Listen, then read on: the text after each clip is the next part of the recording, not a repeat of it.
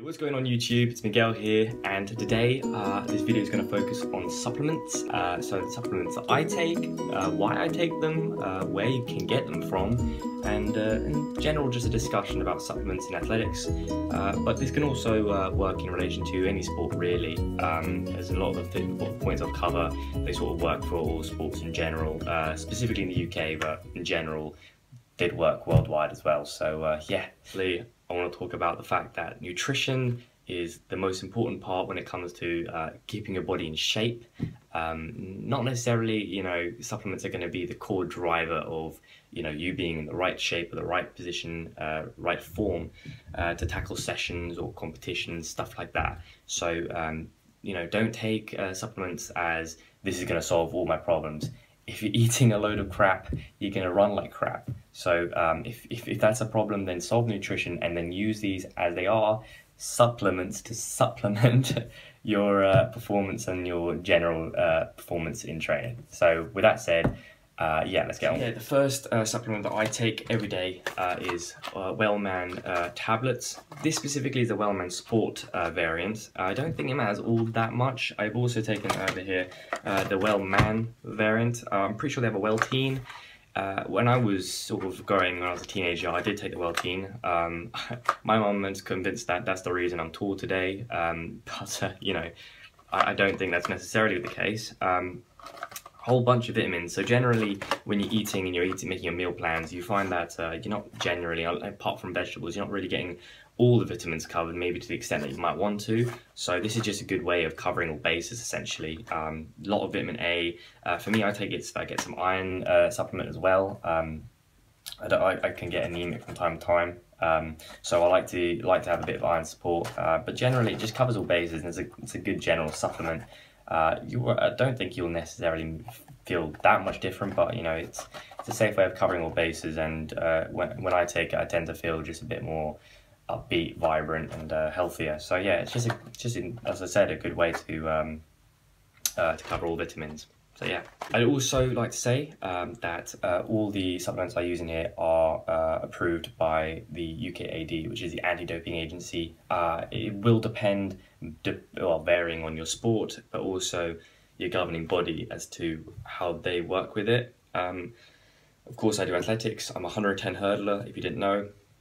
So uh, my stuff, my, all my supplements, everything I do, everything I eat has to be uh, allowed and uh, not part of the drug bans because the last thing you want to do is to uh, have the best season of your life and then find out that this one supplement, because it happens all the time to a lot of athletes, um, whether they're making excuses or not about it, I don't know, but um, it happens a lot where people are taking supplements that they did not know were banned. So um, everything I'm showing in this video is allowed. Um, so uh, yeah, I will also leave a link to the, uh, if you're British, the UKAD Anti-Doping Agency website. That will just basically uh, show you all the supplements and what's allowed, what's not. Uh, and also, it will generally work for other people, but I do recommend trying to find, if you're American, for example, find the American anti-doping uh, laws and etc. etc. for your governing body uh, of your sport. Uh, with that being said, this is my second supplement. Uh, it's the SIS, Science in Sport. I do want to say first and foremost, I'm not sponsored by any of these companies, um, as much as I would love to be. Uh, but uh, yeah, so SIS, um, isotonic energy, energy sachets. Uh, these are really good uh, when you know you have a heavy training session or for me, before a race, uh, I remember doing a decathlon. This really helped me sort of get through it. It's basically just energy. It's it's pure carbohydrates. Um, uh, they're all flavored, so that's kind of cool. You got like black currant, uh, lemon lime, that sort of thing. Um, the problem is with these is that the I actually got these from Costco, um, but obviously I'll leave an online link for that uh, in the description. But um, the problem is you, you you'd only get one flavor of each, uh, one of each flavor. So the problem is you get you get to have all the, the ones you like, the good flavors, and then you're stuck with uh, four of the sort of uh, less distasteful ones. But um, in general, they're not they're not all that bad, um, and it's just a good energy source. You know, you're looking to, for example, if you have heats in the in the morning or finals. Uh, later in the evening, you want something in between. You don't necessarily want to feel full. So uh, yeah, perfect for that. Okay, so for the third one, we're talking about creatine monohydrate. Uh, creatine is, of course, one of those supplements that is well known uh, for all the people who love the gym. um, very stereotypical with that. Uh, creatine is basically that uh, supplement that helps sort of helps you drive the extra extra bit further. So if you're having a really heavy um, session and you're you're really struggling towards the end, this is sort of the supplement that gets you going for that last rep, that last set that pushes you that just that edge further.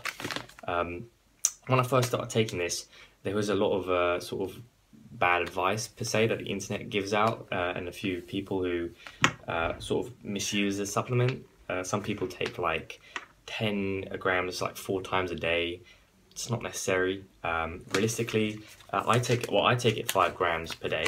Five grams a day is enough, to be honest.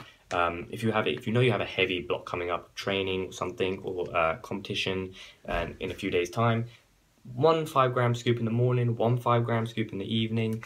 That's good. Basically, just glass, five grams in, a little bit of water because this isn't the tastiest thing in the world. Um, this one's lemon and lime flavor. Uh, I would recommend watermelon, um, but to be honest with you, regardless of what it is, it tastes like like shit. It's not great.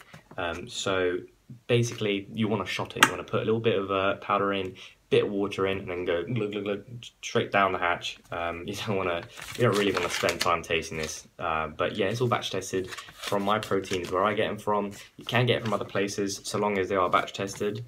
Um, and uh, yeah, creatine monohydrate. And of course, finally, for my fourth supplement uh, and last supplement, uh, as you could probably guess, is whey protein.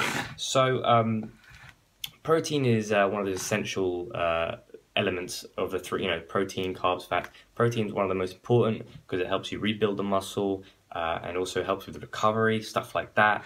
Um, realistically, what you want to be doing is having, um, you know, regularly every three, four hours, you know, 20, 30 grams of protein, depending on your event, of course. But um, when you do a power-based event like, like mine, um, you want to be having protein uh, pretty consistently, you know, throughout the day.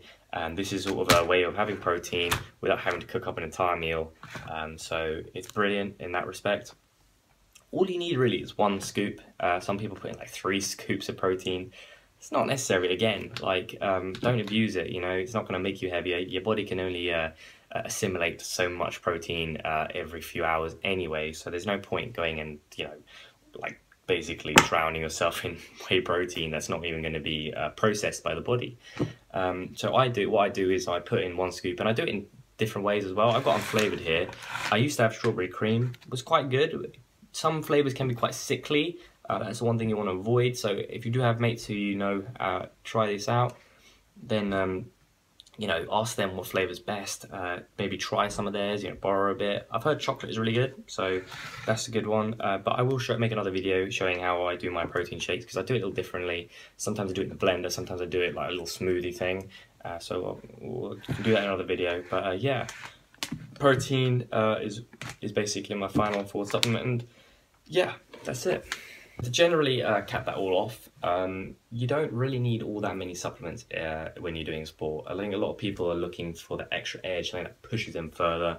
And yeah, supplements are great for doing that, but at the end of the day, you don't want to be taking every bloody thing on the planet. It just seems, it is a bit ridiculous, a bit overkill.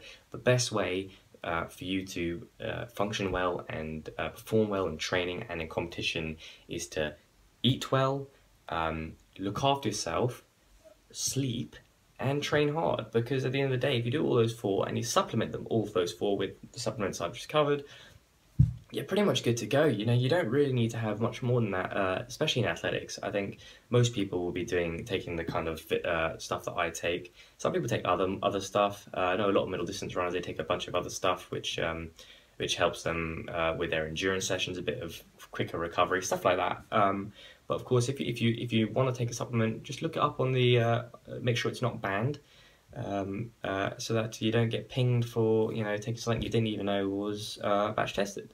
So uh, yeah, that's all, guys. Uh, it's just the four supplements for me: creatine, protein, Wellman tablets, and isotonic energy sachets.